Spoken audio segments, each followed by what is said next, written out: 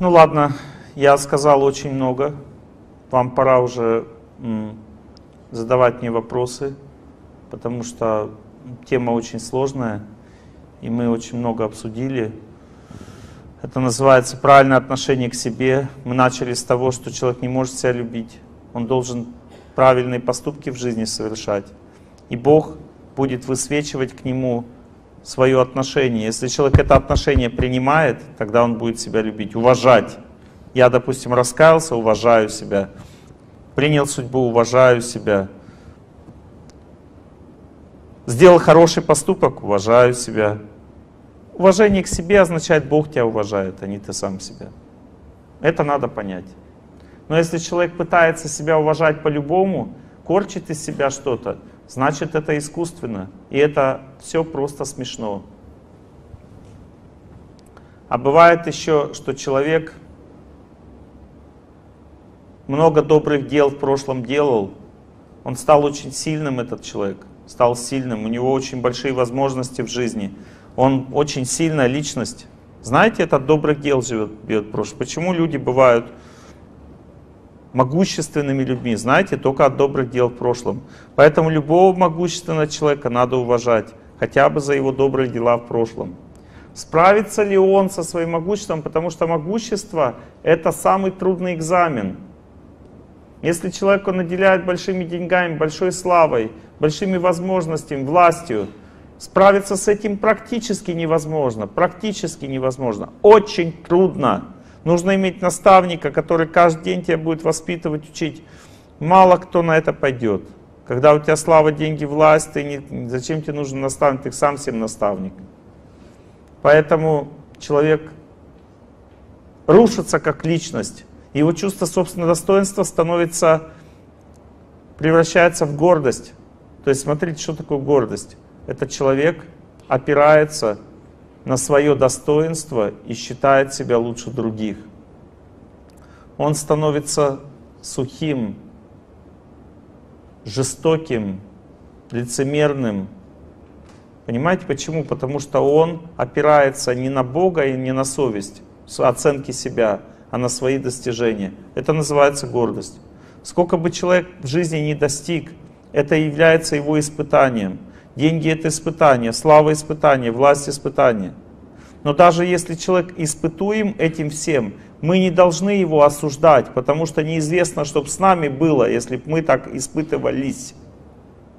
Понимаете, если человек старший, надо всегда его уважать. А если ты не можешь его уважать, иди ищи себе другого старшего. Допустим, ты работаешь где-то, начальник тебе не нравится, ищи другого или уважай этого. Говоришь, везде все одинаковые, значит никто не может справиться с этой силой который называется власть, деньги и слава.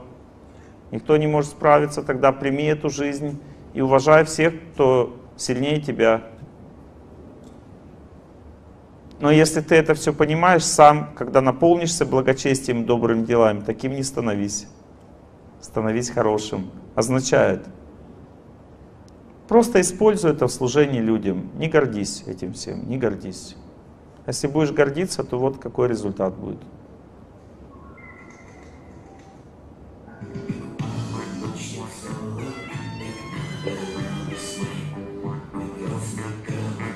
Грозный командор.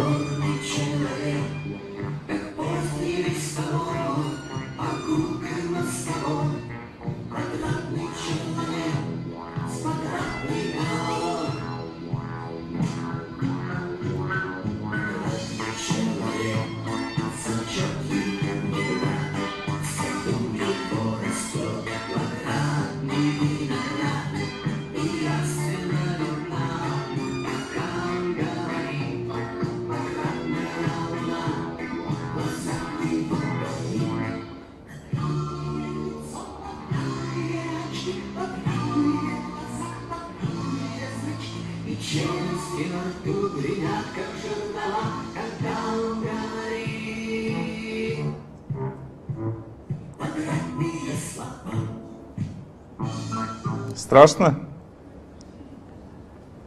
Это так испытывает жизнь нас. Человек может накопить очень много добрых дел. Все добрые дела идут в гордость, если мы не хотим служить другим. А просто гордимся ими. Человек, вот все что угодно. Смотрите, человек бросил курить. В результате, как он воспринимает курильщиков? Плохие люди. Гордость. Бросил есть мясо. Все остальные, кто ест, кто? Мясоеды. Гордость. Допустим, сохранил верность жене. Друг начал гулять. Нет. Гордость. Любой благочестивый поступок, и мы сразу гордимся. Чуть-чуть лучше стали, чуть-чуть там человек прыгнул, начал плавать, другой не может. Гордость. Ну, то есть гордость всегда, когда мы что-то делаем, аскезы какие-то совершаем, гордость приходит в нашу жизнь незаметно сама. Интересная вещь происходит. Есть многие ребята, лектора молодые, начинают читать лекции чуть-чуть. Ну, то есть, ну, такие талантливые, хорошие ребята, занимаются работой над собой, есть что сказать людям. Чуть-чуть популярность появилась, чуть-чуть, вот совсем немножко популярность появилась. Брос, бросает жену, находит себе поклонницу. Почему? Гордость. Не выдержал испытаний. У человека вообще есть три испытания в жизни. На чем я остановился? Три испытания, да. Сначала страдание, это огонь. Вы знаете эти все три испытания. Это огонь. Человек горит, тяжело жить. Почему? Потому что он не выбрал путь. Он не работает над собой. Поэтому судьба его мучает. У него нет силы принять ее, она его мучает. Когда принял, уже не мучает судьба. Знаете об этом, нет? Когда кухня грязная, ходишь вокруг, думаешь, как же кошмар какой, кухня грязная, что же делать? Начал мыть, все нормально. Вроде бы трудишься, тяжелее жить, ну все хорошо, проблем нет. Сначала огонь, да, потом вода, чуть принял судьбу, начал работать над собой. Что такое вода?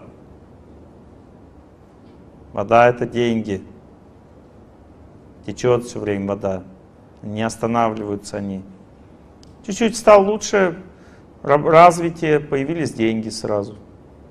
Если прилип к деньгам, все, значит унесла тебя вода. К страданиям прилип, сгорел. Я мученик, хорошо, мучайся, сгорел.